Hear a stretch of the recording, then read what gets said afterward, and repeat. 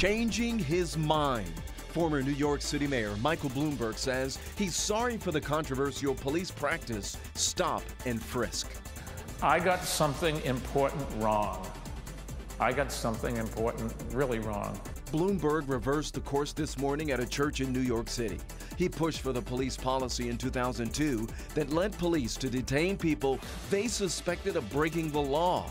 The reversal comes as Bloomberg considers a Democratic run for president.